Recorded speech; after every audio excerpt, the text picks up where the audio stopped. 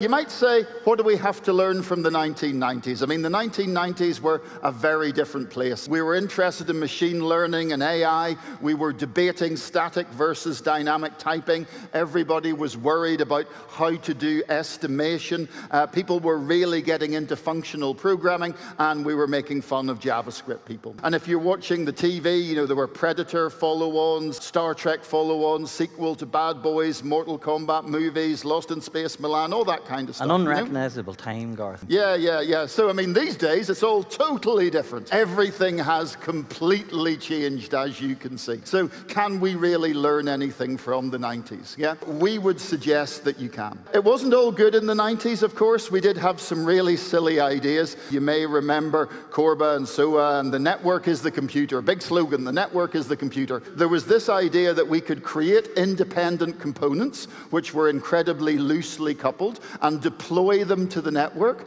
And then using some kind of declarative configuration file, we could wire everything together in an incredibly flexible, resilient way. You know, so they, the, the network would be the computer. But you know, that was just far too complicated. That didn't scale. The, the configuration files became incredibly unmaintainable. Everybody hated it. I'm we're glad. not going to make that mistake Yeah, again, are I'm, we? I'm Eamonn? super glad we left that all behind. Yeah, yeah, we're, we're, ne- we're never ever coming back to that again, are we? You know? Ah.